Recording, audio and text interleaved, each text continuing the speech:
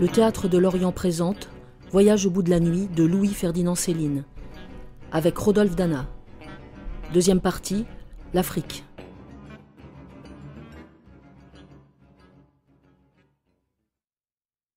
Pour être bien vu et considéré, il a fallu se dépêcher de devenir copain avec les civils. Parce que, à l'arrière, à mesure que la guerre avançait, ils devenaient de plus en plus vicieux. Tout de suite, j'ai compris ça en rentrant sur Paris, et aussi que leurs femmes avaient le feu au derrière. Pour ma part, je n'avais plus à me plaindre. J'étais même en train de m'affranchir par la médaille militaire que j'avais gagnée, la blessure et tout. En convalescence, on me l'avait apporté la médaille, à l'hôpital même. Et le même jour, je m'en fus au théâtre, pour la montrer aux civils pendant les entr'actes. Grand effet. C'était les premières médailles qu'on voyait à Paris. Une affaire. C'est même à cette occasion qu'au foyer de l'Opéra Comique, j'ai rencontré la petite Lola d'Amérique. Et c'est à cause d'elle que je suis devenu tout curieux des États-Unis. Nous nous comprîmes tout de suite avec Lola. Enfin, pas complètement toutefois, parce que les élans du cœur m'étaient devenus tout à fait désagréables. Je préférais ceux du corps, tout simplement. Il faut s'en méfier énormément du cœur. On me l'avait appris, et comment à la guerre, et j'étais pas prêt de l'oublier. C'était une gentille fille après tout Lola, seulement voilà, il y avait la guerre entre nous. Cette foutue énorme rage qui poussait la moitié des humains à envoyer l'autre moitié vers l'abattoir. Ah, ça gênait forcément dans les relations une manie comme celle-là. Et moi qui tirais sur ma convalescence tant que je pouvais, je ne tenais pas du tout à reprendre mon tour au cimetière ardent des batailles. Cependant, j'avais peu de chance d'y échapper. Je n'avais aucune des relations indispensables pour s'en tirer. Je ne connaissais que des pauvres c'est-à-dire des gens dont la mort n'intéresse personne. Quant à Lola, il ne fallait pas compter sur elle pour m'embusquer. Infirmière comme elle l'était, on ne pouvait rêver d'un être plus combatif que cette enfant charmante. Si je lui avais dit ce que j'en pensais de la guerre à Lola, elle m'aurait pris pour un monstre, tout simplement, et chassé des dernières douceurs de son intimité. Son corps était pour moi une joie qui n'en finissait pas. Je n'en avais jamais assez de le parcourir, ce corps américain. J'étais à vrai dire un sacré cochon. Je le demeurais. Je décidai donc, à force de ploter Lola, d'entreprendre tôt ou tard le voyage aux États-Unis. Je reçus ainsi tout près de son derrière le message d'un nouveau monde. Ferdinand, voulez-vous dîner chez Duval? Vous aimez bien Duval, vous? Cela vous changerait les idées? À moins que vous ne préfériez dîner dans ma chambre. Elle était bien prévenante, en somme, ce soir-là. Nous nous décidâmes finalement pour Duval, mais à peine étions-nous assis à table que l'endroit me parut insensé. Tous ces gens assis en rang autour de nous donnaient l'impression d'attendre eux aussi que des balles les assaillent de partout à la fois pendant qu'ils bouffaient. Allez-vous-en Que je les ai prévenus. Foutez le camp. Allez-vous-en. On va vous tirer dessus. On va vous tuer. On va nous tuer tous. Allez-vous-en. Allez-vous-en Allez-vous-en, ils vont vous tuer, ils vont nous tuer tous Un vrai scandale. Alors je suis tombé malade, fiévreux, rendu fou qu'ils ont expliqué à l'hôpital par la peur. C'était possible. La meilleure des choses à faire, n'est-ce pas, quand on est dans ce monde, c'est d'en sortir, fou ou pas, peur ou pas. Est-ce vrai que vous soyez réellement devenu fou, Ferdinand? Je le suis. Alors, ils vont vous soigner ici On ne soigne pas la peur, Lola. Oh, vous avez donc peur tant que cela? Et plus que ça encore, Lola. Oh Vous êtes donc tout à fait lâche, Ferdinand Vous êtes répugnant, comme un rat Oui, tout à fait lâche, Lola. Je refuse la guerre avec tout ce qu'il y a dedans. Je la refuse tout net avec tous les hommes qu'elle contient. Je ne veux rien avoir à faire avec eux, avec elle. Serait-il 995 millions et moi tout seul? C'est eux qui ont tort, Lola, et c'est moi qui ai raison, parce que je suis le seul à savoir ce que je veux. Je ne veux plus mourir. Mais c'est impossible de refuser la guerre, Ferdinand. Il n'y a que les fous et les lâches qui refusent la guerre quand leur patrie est en danger. Alors vivent les fous et les lâches. Ou plutôt survivent les fous et les lâches. Parce que je vous l'affirme, la preuve est faite, Lola. Il n'y a que la vie qui compte. En la reconduisant jusqu'au portillon de notre hospice ce soir-là, elle ne m'embrassa pas. Au revoir, Ferdinand. Ma permission touchait à son terme. Les journaux battaient le rappel de tous les combattants possibles et bien entendu avant tout de ceux qui n'avaient pas de relation. Mais moi, dès les premières visites, on me trouva trop au-dessous de la moyenne et tout juste bon à être redirigé vers un autre hôpital. Pour osseux et nerveux celui-là. Je ne recevais plus du tout de nouvelles de Lola. Elle demeurait décidément la garce du bon côté de la situation là où régnait une consigne souriante mais implacable d'élimination envers nous autres, nous, les viandes destinées au sacrifice. Les jeux étaient faits. Mais voilà-t-il pas que les huiles ont fini par me laisser tomber? Et j'ai pu sauver mes tripes. Va-t'en qui m'ont fait, t'es plus bon à rien. En Afrique, que j'ai dit, moi. Plus que ça sera loin, mieux ça vaudra.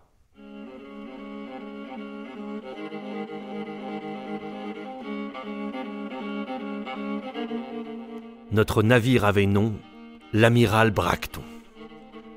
Nous voguions vers l'Afrique, la vraie, la grande, celle des insondables forêts, des miasmes délétères, des solitudes inviolées, vers les grands tyrans nègres vautrés au croisement de fleuves qui n'en finissent plus. Mais dès après les côtes du Portugal, les choses se mirent à se gâter. L'eau dans les verres, la mer, l'air, les draps, notre sueur, tout tiède, chaud. Désormais impossible la nuit, le jour, d'avoir plus rien de frais à se mettre sous la main dans la gorge, sauf la glace du bar avec le whisky. Ça n'a pas traîné. Tout le contenu humain du navire s'est coagulé dans une massive ivrognerie. On se mouvait mollement entre les ponts, comme des poulpes au fond d'une baignoire d'eau fadasse. Quelque temps après les îles Canaries, j'appris, d'un garçon de cabine, qu'on s'accordait à me trouver poseur, voire insolent, qu'on me soupçonnait de macrotage en même temps que de pédérastie. Puis l'idée fit son chemin que je devais fuir la France à cause de forfaits parmi les plus graves. Bref, une véritable réjouissance générale et morale s'annonçait à bord de l'amiral Bracton. L'immonde n'échapperait pas à son sort. Et c'était moi. Le bateau n'avançait plus guère. Il se traînait plutôt, en ronronnant, d'un roulis vers l'autre. Ce n'était plus un voyage, c'était une espèce de maladie. Autour de moi, tout était accablant de haine et d'ennui. Faut dire qu'il est incroyable cet ennui du bord, cosmique pour parler franchement.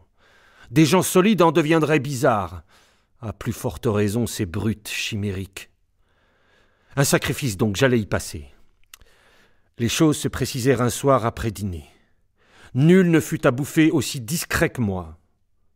Au moment de retourner dans ma cabine, un des capitaines, le plus musclé de tous, me barra net le chemin. Montons sur le pont m'ordonna-t-il. Nous y fûmes en quelques pas. Monsieur, vous avez devant vous le capitaine Fromison des troupes coloniales. Au nom des camarades et des passagers de ce bateau, justement indigné par votre inqualifiable conduite, j'ai l'honneur de vous demander raison. De proclamer ce que vous racontez honteusement tout bas depuis vingt et un jours. De nous dire enfin ce que vous pensez.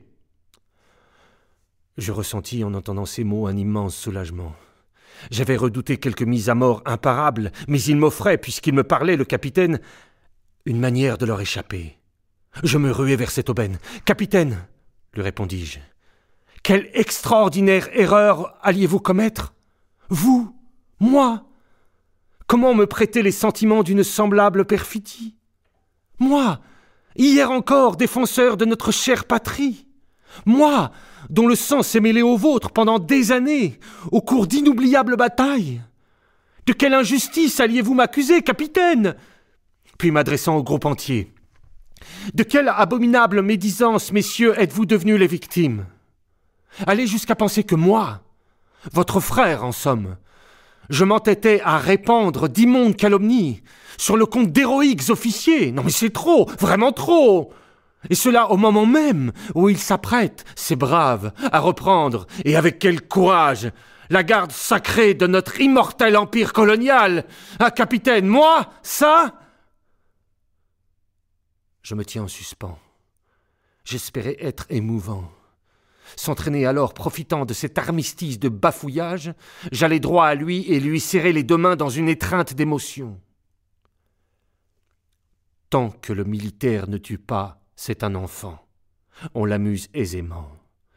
N'ayant pas l'habitude de penser, dès qu'on lui parle, il est forcé, pour essayer de vous comprendre, de se résoudre à des efforts accablants.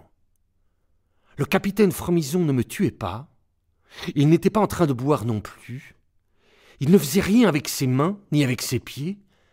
Il essayait seulement de penser. Et c'était énormément trop pour lui. Au fond, je le tenais par la tête. Enfin, je me lançais dans la péroraison. Entre braves, messieurs les officiers. Doit-on pas toujours finir par s'entendre? Vive la France alors Nom de Dieu Vive la France J'observais parmi les auditeurs un petit moment d'hésitation. Mais tout de même, il est bien difficile à un officier, aussi mal disposé soit-il, de gifler un civil publiquement au moment où celui-ci s'écrie Vive la France Cette hésitation me sauva. Ce fut le seul cas où la France me sauva la vie. Jusque-là, c'était plutôt le contraire.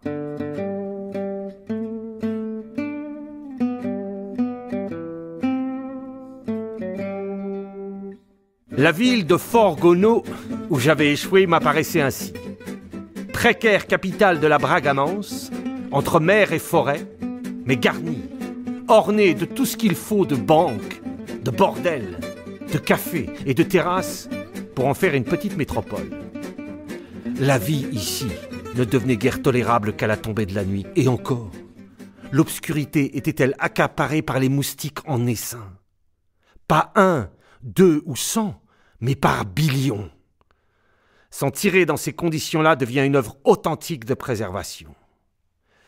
Le directeur de la compagnie de la Pordurière du Petit Congo cherchait, m'assurait-on, un employé débutant pour tenir une de ses factories dans la brousse. J'allais, sans tarder, lui offrir mes incompétents, mais empressés services.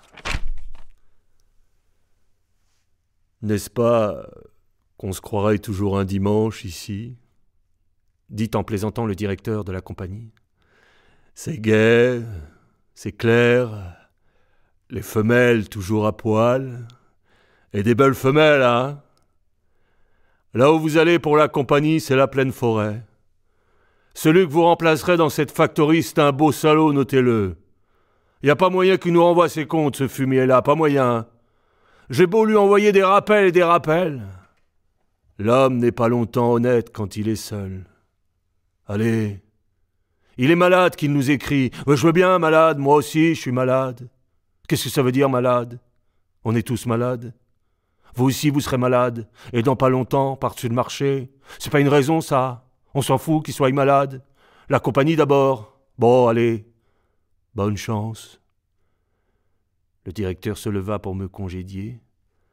Le toit au-dessus de nos têtes était en tôle et paraissait peser au moins deux mille tonnes tellement elle gardait sur nous toute la chaleur, la tôle. Un noir de son service me précédait avec une grande lanterne pour me mener vers l'endroit où je devais loger en attendant mon départ pour la forêt. Cette bâtisse était exactement vide, sauf quelques ustensiles de cuisine et une espèce de lit. Dès que je fus allongé sur cette chose filiforme et tremblante, vingt chauves-souris, sortirent des coins et s'élancèrent en allées et venues bruissantes comme autant de salves d'éventail au-dessus de mon repos craintif. Le tam-tam du village tout proche vous fait sauter, couper menu des petits morceaux de patience. Mille diligents moustiques prirent sans délai possession de mes cuisses, et je n'osais plus cependant remettre un pied sur le sol à cause des scorpions et des serpents venimeux dont je supposais l'abominable chasse commencer.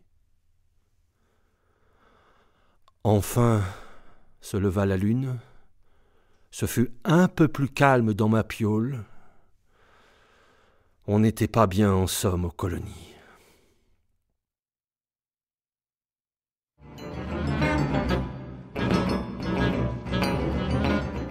C'était Voyage au bout de la nuit de Louis-Ferdinand Céline. Adaptation Rodolphe Dana. Post-production Katia Hunsinger et Valérie Sigouard. Enregistrement et mixage Yannick Offray.